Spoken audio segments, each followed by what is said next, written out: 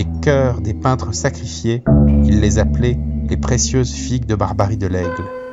Il s'en saisissait et les élevait vers le soleil, le prince de turquoise, l'aigle embrasé du tournesol noir. Quand on fait un cauchemar et qu'on se réveille, on se dit alors que ce n'était qu'un rêve.